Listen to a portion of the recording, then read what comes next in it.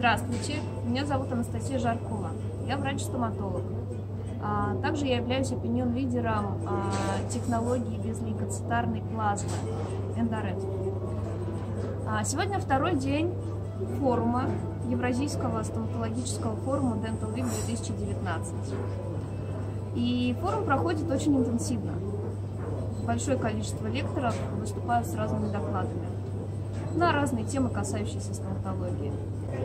А особую благодарность я хочу выразить Федору Федоровичу Лосеву за его восхитительную лекцию, которая подарила большое количество практически применяемых знаний о научно-правовых аспектах, о распределении бюджета в стоматологической клинике, о том, что нужно использовать только регистрированное оборудование, имеющее все необходимые документы, о том, а, какими способами должен работать хирург-имплантолог с пациентом. Использование хирургического шаблона нынче стало обязательным включено а, в перечень э, Росздравнадзора.